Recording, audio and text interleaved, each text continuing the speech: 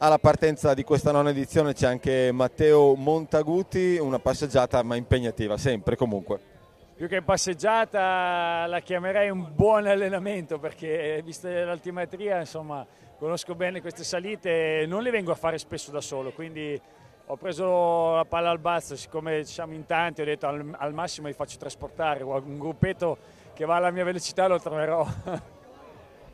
Quali sono i tuoi prossimi obiettivi di questo 2018?